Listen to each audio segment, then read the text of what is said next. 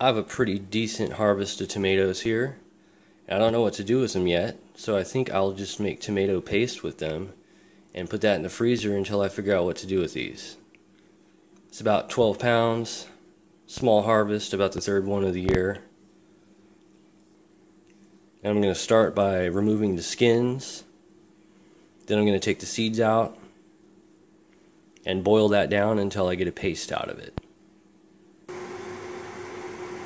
So I got my pot of water on and I'm just going to wait for it to boil. And then I put the tomatoes in the boiling water for a minute or two until the skin kind of flakes off. And then I'm going to put that in ice water and then the, the skin should totally come off. And that's how you remove the skin from a tomato.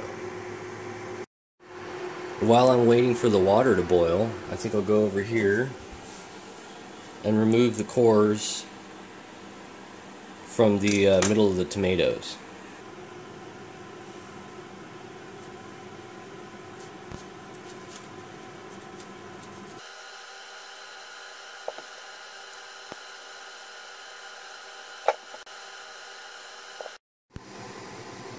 Alright, I got these cored, and our water is at a decent boil, and I have a bowl of ice water here. So what I'm going to do is I'm going to cut an X or a cross in the bottom of these like this so it's easier for the skin to come off.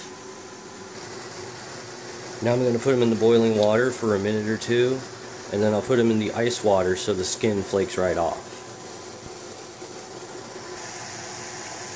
Alright, that's been one or two minutes. I think they're ready to take out and put in the cold water.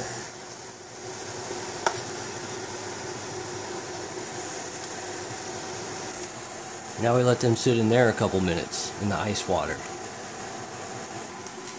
Okay, the tomatoes are cooled off. They've been in the ice bath for a couple minutes. And now the skin should just come right off like that. So now just peel all the skin off.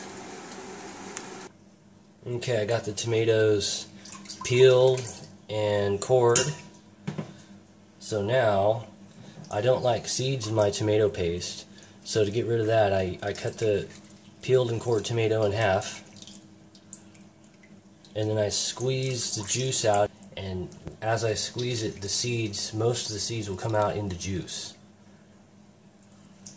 And then I'm not going to waste this tomato water here. I'm going to uh, strain it. I'm going to strain the little, there's still some seeds in there. And then I'm going to put it in my pot of water and reduce it with the paste. Okay, all these tomatoes are seeded, skinned, and peeled. So it's just tomato flesh. Most of the seeds are gone. And in here is the tomato juice. You don't want to throw that away because I got about a, almost a half gallon here. So we just, the main objective is to get rid of the seeds. So the way I do that is I run it through a sieve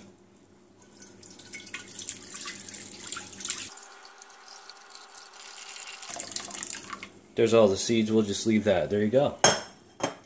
So the seeds are in here. The tomato juice is in here. I'm going to put this on the stove and then put this in here and then let it reduce. We got it on the burner so now we're just going to crank the heat up bring it to a boil um, and then turn the heat down let this reduce and then I'll add this the main flesh of the tomatoes We are now at a boil here on our tomato uh, juice. So now I'm going to add these guys.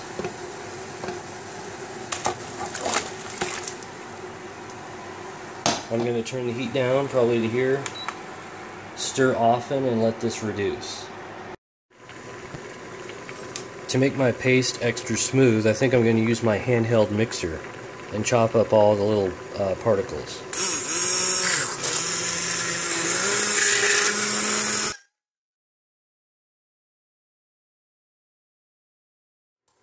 Okay, that looks a lot smoother than it was.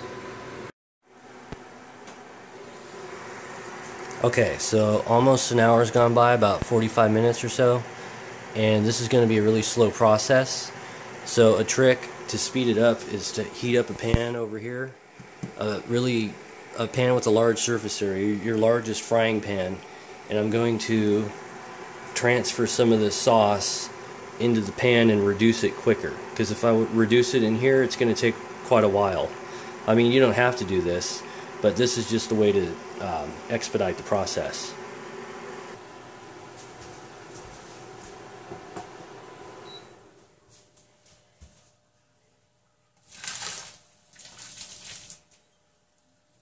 Okay, so I poured some of the hot sauce into my reducing pan. And now I'm just going to stir it. And the, the, uh, this sauce should reduce and turn to paste a lot faster than it would if I just had it in that uh, Dutch oven over there. See how fast that's going to distill?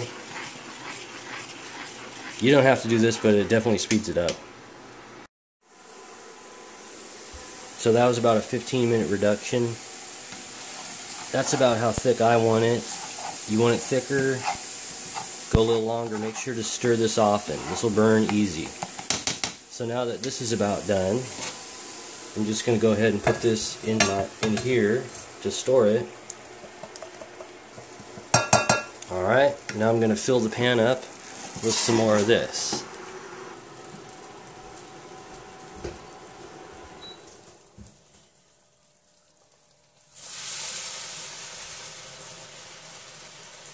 Okay, and repeat the same process. It looks like this will reduce down in 15 minutes. There you go, that's nice and thick. That's ready for the next batch. Alright, this is the entire batch. I wanted to do one final reduction, get it extra, extra thick, and then I'm going to put it in here and let it cool, and then I'll bag it up and put it in the freezer.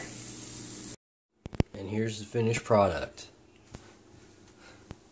all, all that 12 pounds of tomatoes turned in this very thick kind of tomato sludge. So I'm going to let it cool now. And then I am going to put it in little sandwich bags and put that in the freezer. Okay, so I think we're all cool now. So now I'm going to put the cool paste in these little sandwich bags. And I'm not going to put all of it in one bag. I'm going to do several portions so I don't when I want to thaw it out I don't have to thaw out my whole batch.